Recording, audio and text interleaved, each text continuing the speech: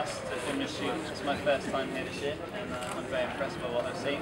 For yourself, uh, you're a patron of uh, Formula Student and uh, obviously been working with IMechE. Uh, what do you think of the event and how it's progressed over the years? Um, I think the last few years in particular, it's uh, seen some strong progression into the alternative energy uh, and hybrids, which I find fascinating. That's, that's an area that's starting to influence what we're doing for a while. And, uh, so that's been really But I think I think just the sheer growth of the event uh, since it started has been massively impressive. Started now we have University of Gold and in the beginning it wasn't so popular. But, uh, it's been, uh, been really encouraging to see see the event grow and also the fact that we're employing engineers now that have been through the you know, company. We have people that have been through Um,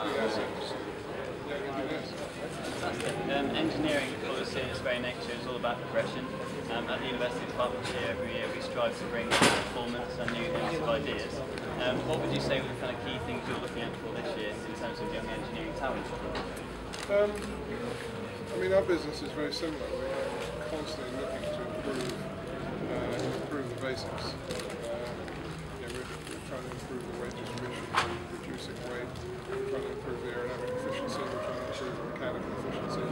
It's not so common for Formula now that we get big dramatic breakthroughs. It's just constant effort in the fundamentals that are faster. Um, so our sport, our business, become more specialised in composite technology, mechanical technology, aerodynamics, and we want to show a good level of talent or ability, but also a little bit of extra spark of innovation uh, by young engineers. Excellent. Okay, you're probably posed to this question um, on a daily basis, but a lot of us are aspiring to do what you have done in your career. Um, what would be the correct path to get to, uh, to Formula One and to the, uh, sport? Um, well, this is a great start. As I say, whenever we see a CV, we see that um, the applicants were involved in foreign students, a really good uh, tick in the box of uh, the CV. And, uh, so this is this is. Um, it's tough now because we've lost some of the smaller teams, uh, smaller companies that used to be feeding. But uh, I think if you want to pursue a career in motorsport, just uh, resilience, just keep pushing, keep trying, keep applying. Uh, the doors won't open easily, but it is a very rewarding career. So just keep pushing, get the qualifications because qualifications are absolutely vital. In when I came into the sport, we didn't have too much. But we've got uh, there are 11 people in the team uh, we've got 500 very much more specialised than was when I started.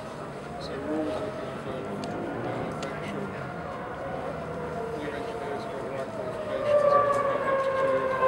right attitude, and I think almost that resilience they need to get into sport what we need once they start working for. So just keep trying. Very. Okay? Russ, pleasure to.